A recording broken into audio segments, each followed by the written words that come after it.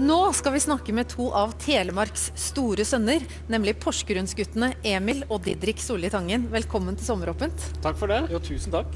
Og først så må vi faktisk vise et bilde av morfaren deres.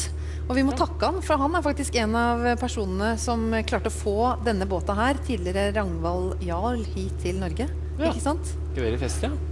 For hva er historien bak det? Nei, altså, hvor morfar han var uh, maskinist, eller maskinsjef. da. Og, og når den skuta her blei bygd og skulle komme hjem til Norge, så var morfar uh, med og henta den i Hamburg i år uh, 1800 og Nei, jeg vet ikke, det er lenge siden i hvert fall. Men, men så da Og han jobba også om bord på skuta her som maskinsjef. Da hadde vi også, husker jeg så et bilde hos mormor hvor det var eh, jomfrutur. og Da var det dans på dekk eller dans om bord, og da var mormor og morfar på avisa. da. Og jeg misunner alltid de som holdt på å si levde i gamle dager. Ja, Liksom, det. Så Ja, mye bedre før. Alt var så mye bedre før. Ja, men de danset alltid på brygger. Det gjør Ja, man ikke så var mye nå veldig fin dans også. Og Det var ikke bare sånn sånn. henda i været-dansing. Det var litt ordentlig. også. Pardans. Ja, pardans, ja. Ja. Men dere er nå altså blitt to av Norges mest kjente og kjære operasangere. Og så er Ja. begge operasangere også. Eh, Didrik, gjør dere alt likt? Nei, men det er jo sånn at uh, det er ofte at uh, brødre følger i hverandres fotspor. Eller, eller ikke i det hele tatt.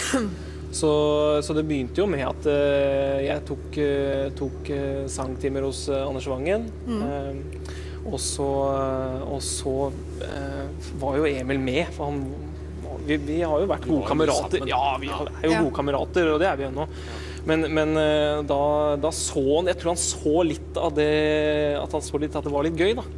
Og da begynte han han òg, skjønner du. Så det var liksom litt sånn følge i, i broderens fotspor. da. Og når Didrik da sikkert sto der og sang og tenkte nå brifer jeg for lillebror, så la du en plan. Jeg skal bli like god eller bedre. Ja, altså jeg spilte gitar på den tida, og så, så satt jeg, husker det veldig godt, og så satt vi hjemme hos Anders, for vi hadde sangtime, Didrik hadde sangtime, og så satt jeg og spilte gitar, da. Så sier Anders da at er du ikke lei av å sikle den der gitarkassa? Vil du ikke liksom åpne og reise deg opp og synge litt, du òg? Og så jo, jo, tenkte jeg, jeg kan jo prøve det, jeg òg. Så det, ble, det er litt sånn tilfeldigheter egentlig som har eh, reist. Men det er klart, jeg var jo misunnelig på han som fikk råd til å reise rundt og synge og vise seg fram og stor og flott og fin og Så det, det har jo vært en eh, faktor, helt klart. Det har det. Og så ikke nok med at dere da synger eh, opera, begge to, så har dere også da vært samboere i mange år. Ja. Jeg flytta jo først til Oslo mm. og begynte på Barradue. Og det, da flytta jo Emil etter Det var to år etterpå. År etter. Ja. To år etterpå. Og da uh, flytta jo Emil inn til meg, da. Hva Det var, det var helt naturlig, egentlig. Det var ikke noe jeg tenkte ikke. Vi tenkte vel ikke på noe annet. Jeg tror ikke jeg spurte engang. Men da var det jo var det kanskje en dame der fra før, eller? Det var vel øh, Nei, ikke da. Nei, ikke da. Det Nei. var kanskje ikke det, men det blei jo det. Og så da flytt, bodde vi først på Sankthanshaugen. Ja. Og så flytta vi eh, sammen opp til Adamstuen, eh, litt oppafor, eh, litt sånn på skrått opp. Og så flytta vi ned til Bislett eh, sammen der. Og der bodde vi vel nesten et år sammen. Halvannet år nesten, tror jeg. Ja, Og med noen kjærester. De, ja det var altså- vel fire på det meste inni den leiligheten. Ja, Ja. Ja. Damer, altså. Ja. Så Ja. nå, men så har du flyttet ut. Savner du Didrik? Ja, ja, ja altså Det Det er vel mest det at det det er tomt i kjøleskapet som oftest. Ja, fa er Didrik, du syns Han sier nemlig at du har så dårlig økonomisk sans. ja, altså, Penger er jo til for å brukes. Ja. Og han er sånn som sier kan, ikke du kjøpe, kan ikke du kjøpe noe mat, da? For at, eh, og så sier han at han ikke har penger, og så går det en halvtime, og så er vi inne i en musikksjappe, og så kjøper han en gitar til 6000, liksom. Sa ikke du akkurat at du ikke hadde penger? Jo, men eh, jeg har jo penger til gitar, da. Så det er liksom Er det sånn? Ja, ja, Ja, ja. det har hendt. Det har hendt. Ja. Men det er sånn. Det vet jeg ikke, men det har Nei. hendt. Men du, hva er det verste Didrik vet? Altså, han er veldig ryddig. Altså, Mm. jeg kan være ryddig, men han er veldig ryddig. Sånn at, eh, det var jo helt sånn Da vi bodde sammen, så var det jo da at han irriterte seg fælt over at eh, jeg ikke rydda inn frokosten før jeg var ferdig å spise. For han tror at tallerkenen den går fra, gjerne fra middagsbordet, og så går den bort til oppvaskbenken. Og hvis han, hvis, han, hvis han kommer så langt, så tror han da at den går automatisk inn i oppvaskmaskina. Gjerne skylder seg sjøl òg. Vet dere hva dere høres ut som? Dere høres ut som et gammelt ektepar. Ja, det er litt sånn. klart at når du har bodd sammen i tre år, så ja, det, det baller jo på seg. Men jeg har også hørt rykter om at han ikke kan fordra familieselskaper. Han må alltid synge. Det er jo sånn at når du synger sånn som det vi gjør, så er det liksom at det er en slags byrde på våre skuldre at når du blir bedt i en eller annen, eh, en eller annen eh, anledning, så, så, så forventes det fra tid til annen at man skal ta en strofe. Og det blir jo mer og mer liksom. irriterende, ikke sant? Kan ikke du Hvis du bare tar og synger litt, Jan. Ja. Kan ikke du Ja. Og jeg det- skjønner hva du ja. Ja. Og det er litt sånn, men, men det er klart, det, det, det er ikke så lett å skjønne seg på. For at, men hvis du skal ta, sammenligne det litt da, med en som, en som eh, driver med regnskap, og så, du, så sitter du der på, på middagsbordet du, jeg, har noe, jeg har noen skattetall og sånt her. Mm. Som jeg, jeg lurer på om ikke du kunne tatt oss og sett litt på det nå. Ikke du, du driver med regnskap, gjør du ikke det? Ja, hvis du bare, ja. Er det blir litt ja. Ja.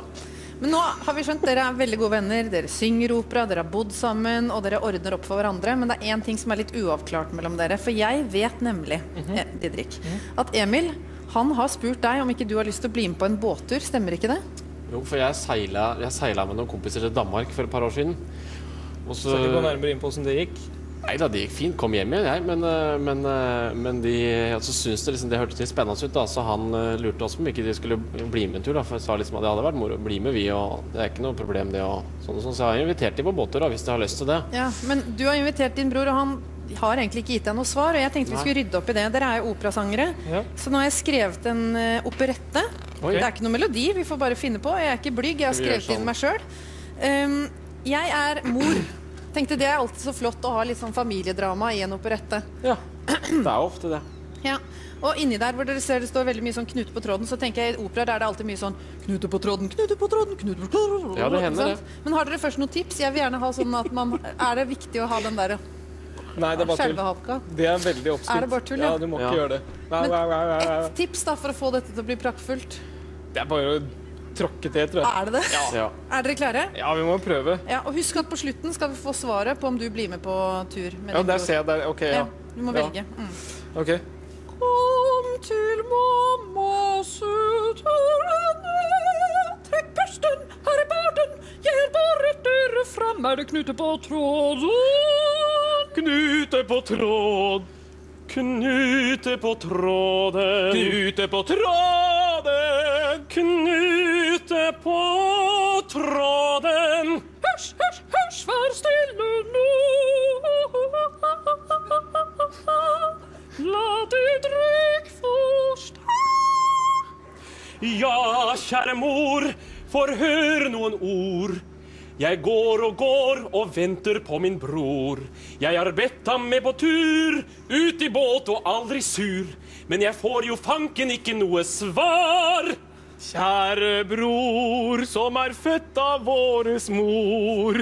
Dette her er helt nytt for meg. Men jeg har svar ut i båt med deg. Er en drøm for deg og meg, og mitt svar er Nei. Det er ikke det. Er ja. Og så avslutningen. La, la, la, la, la, la. La, la, la.